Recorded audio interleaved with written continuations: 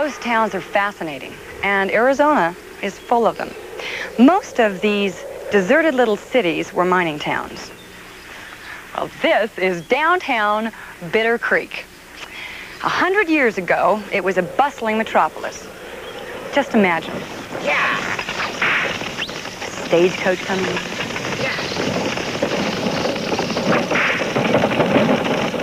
Occasionally, it would stop.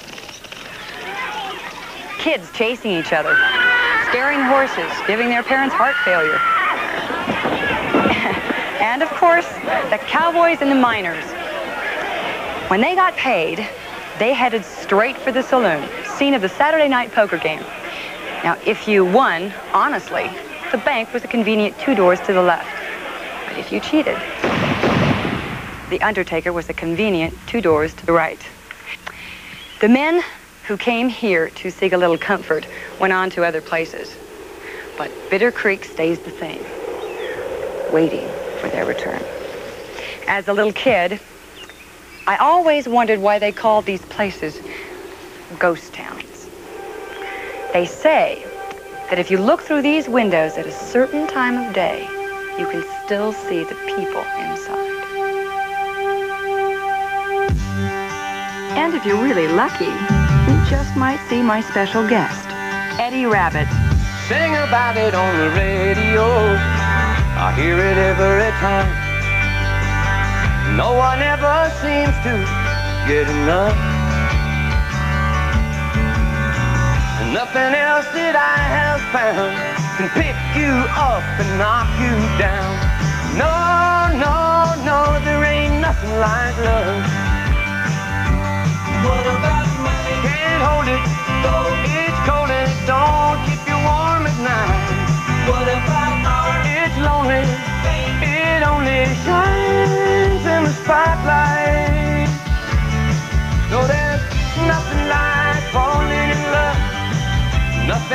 I recall. Nothing like falling in love. Nothing like, nothing like falling in love. Every day I fall in love again. Happens every time. And I don't ever think I get enough. Cause the minute that I set eyes on you, I knew that I was addicted to. Oh, there ain't nothing like love. Can't hold it. It's cold and it don't keep you warm at night. It's lonely. It only shines in the spotlight. Oh, there's nothing like falling in love. Nothing I can recall. Nothing like falling in love nothing like, nothing like falling in love. No, there's nothing like falling in love.